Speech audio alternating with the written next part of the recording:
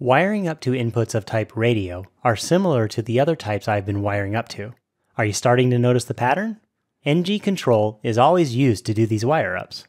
So in the order sheet component HTML file, there are two sets of radio inputs, one for sizes and one for breads.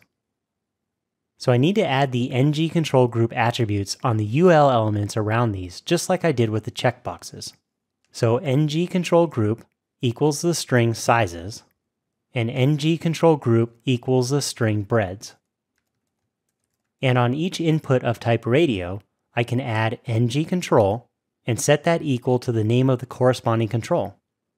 So ng control size small and ng control size large. And on the breads,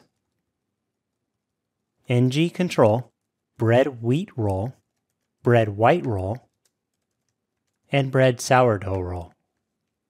Take note that each of these inputs of type radio have the same name attribute for the ones in the group.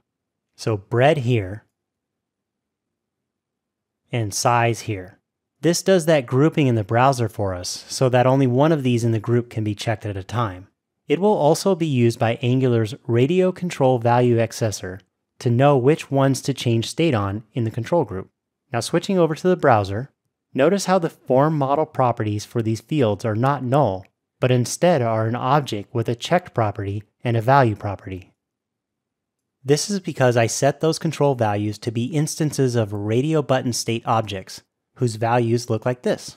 And if I click on a size, you can see the checked value changes to true.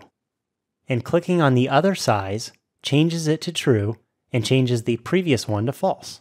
So again, pretty straightforward to wire up, using the ng control group and ng control attributes.